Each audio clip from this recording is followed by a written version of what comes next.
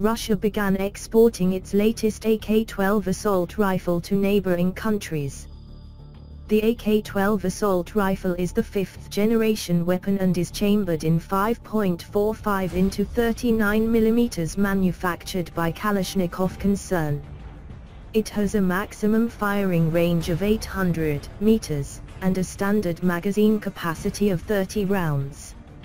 It features a Picatinny rail on the top of the receiver for mounting various optical sights and on the top, bottom and sides of the handguard to mount various accessories. The new box magazines are backwards compatible with 5.45 39mm magazines and feature a slant angle on the bottom rear portion to provide a more rigid and stable contact with the ground when the gun is rested on the magazine.